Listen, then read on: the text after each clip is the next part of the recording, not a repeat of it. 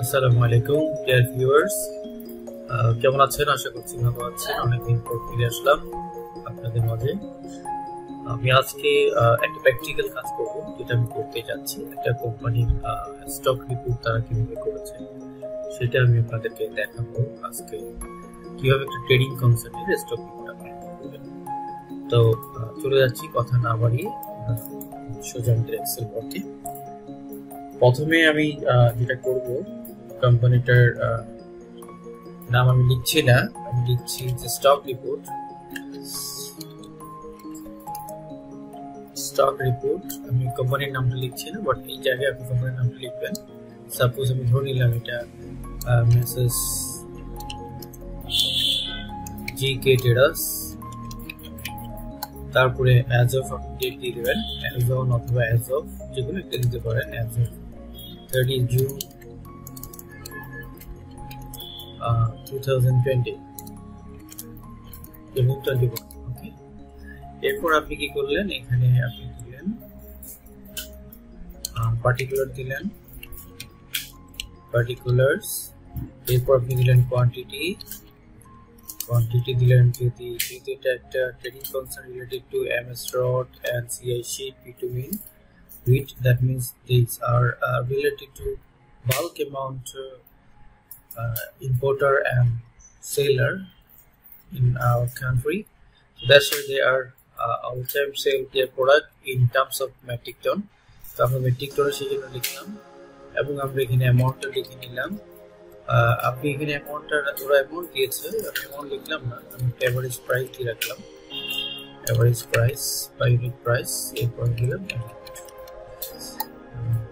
এবার আমি দেখি ওরা যা দিয়েছে, সেটা নাম্বার ওয়ান তারা আমাদেরকে দিয়েছে এমএস রড তাদের কাছে কী করে আছে, তারপরে তারা আমাদেরকে দিয়েছে সিআই শিট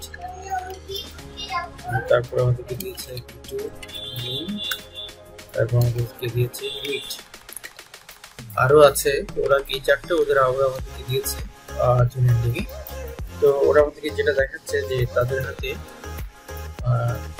এমএস রড আছে পাঁচশো মেট্রিক টন, আর সিআই শিট আছে এক হাজার মেট্রিক টন, তারপর ভিটামিন আছে প্রায় দু হাজার মেট্রিক টন সরি এটা বাইশ হাজার মেট্রিক টন। আমি আগে বলেছি, এটা একটা জয়েন্ট ট্রেডিং কনসার্ন তো তাদের বিশাল পরিমাণ এটা আমরা ডেসিমিলার ভোটটা একেবারে জিরোতে রাখব, যেহেতু এটা কোয়ান্টিটি সো অ্যাভারেজ প্রাইসটা আমাদের দেওয়া হয়নি, আমাদের টোটাল অ্যামাউন্টটা দিয়েছে। আমি এটা লিখছি এখানে থার্টি ফাইভ মিলিয়ন আমি টোটালটা দিয়ে দিচ্ছি, অথবা আমি মিলিয়ন ফিগারটা যদি দেই, দিলাম thirty five fifty million sorry fifty million আর এখানে হচ্ছে এইট এইট জিরো মিলিয়ন তারপর হচ্ছে one five three four million তো এটাকে আমরা ফ্র্যাকশনে নিয়ে যেতে পারি জাস্ট এখানে কমা চিহ্নটা আপনি যদি ক্লিক করেন তাহলে অ্যাকাউন্টিং ফর্মে চলে যাবে আর যদি আপনি এটাকে চেঞ্জ করতে চান নাম্বারে নিয়ে যেতে চান তাহলে এখান থেকে আপনি কাজটা করতে পারেন নাম্বার সিলেক্ট করে এখান থেকে দুটো পর্যন্ত ডেসিমাল কিবোর্ড আর যদি ফ্র্যাকশন নাই চান, তাহলে এখান করে দেবেন দেন চলে যাবে। তো আমরা অ্যাকাউন্টিং ফর্মেট রাখতে চাচ্ছি, আর এটা যেহেতু মিলিয়নের ফিগার আমরা এটাকে এখানে দিয়ে দিচ্ছি ডিডিটি মিলিয়ন আমরা দিয়ে দিলাম। বন্ধুরা ভেরি সিম্পলি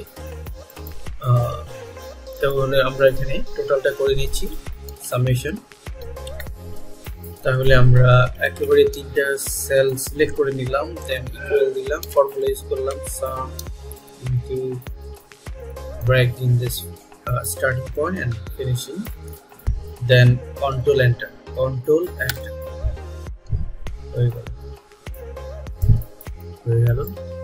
এবার আমরা এভারেজ প্রাইস যদি বের করতে চাই। তাহলে যেহেতু আমাদের এটা হচ্ছে এভারেজ প্রাইসটা আমরা বের করব সো আমাদের ফার্স্ট কলম হচ্ছে এটা হচ্ছে অ্যামাউন্টের পর এটা হচ্ছে আমাদের অ্যামাউন্ট তাহলে আমরা অ্যামাউন্টকে যদি আমরা কোয়ান্টিটি দিয়ে ভাগ করি, তাহলে আমাদের অ্যাভারেজ ফিগারটা বের হবে। আর এই ক্ষেত্রে আমরা যেহেতু মাল্টিপ্লাই করতে চাই, তাহলে আমরা এখানে যদি মিলিয়নের এটি বাদ দিয়ে আমরা বিডিবিতে নিয়ে গেলাম, তাহলে আমরা যেটি দেখতে পাচ্ছি এটা আপনি ইয়ে করে দেন। একঘর করে দেবেন ভিডিও করতে পারেন। এটাকে আমরা সাম না করে যেহেতু অ্যাভারেজ ফিগার আমরা অ্যাভারেজ দিতে পারি এটাকে। অ্যাভারেজ দিয়ে আমরা এটা সিলেক্ট করে নিলাম। আমরা পেয়ে গেলাম। এটা অ্যাভারেজ আমরা এটা কত পাবো? অ্যাভারেজ এই চারটা প্রোডাক্টের অ্যাভারেজ পার মেট্রিক টন প্রাইসটা কেমন আমরা এটাকে বোল্ড করে দিলাম। আর এটাকে আমরা বোল্ড করে দিলাম। ঘরগুলোকে একটু বড় সাইজ করে দিলাম। ওকে আর এটাকে আমরা মার্চ করে নিই সেলগুলোকে মিডলে আমরা সেন্ট্রালাইজ করে নিই। দেখবেন জিনিসটা দেখতে সুন্দর লাগবে। এরপর আপনি রিপোর্টিং করতে গেলে টোটাল এই জিনিসটা আপনি সিলেক্ট করলেন। করে আপনার প্যাড বা কোম্পানি প্যাড যেটা থাকবে কপি করে সেখানে পেস্ট করে দিলেন। অথবা আপনি একটা প্যাড এক্সেল রেডি করতে পারেন।